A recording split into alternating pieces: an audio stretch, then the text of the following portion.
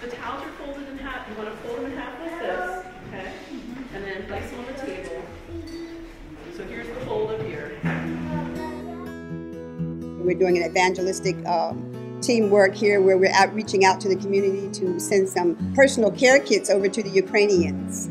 And we're coming together as a group partnering with uh, St. Philip's Lutheran Church and Unity Church are doing this together.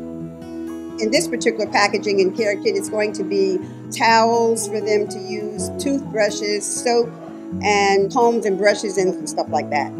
This is the first time that we have partnered with St. Philip's to do this event. There's an organization that's a part of the larger umbrella of the Lutheran Church, and it's called the Lutheran World Relief uh, Program. And they do it every year. They send help out to different areas of the world, not just uh, Ukrainians, but we send things out everywhere, all over the world. And so today we just wanted to come together and show that we care about them and what's going on, and we wanted to be able to help.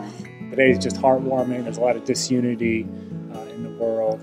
And for Reverend Dryden to put this together uh, with St. Philip's Church and Unity Church, I think it's great. It's a you know it's a very warm moment for everybody in there.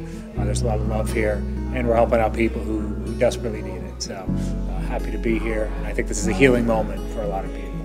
Hopefully this kind of event will demonstrate love and other congregations might take on doing some of these type of things uh, beyond just going just worshiping. Worshiping is good, but part of the plan of God is for us to come into enter to worship, exit to serve.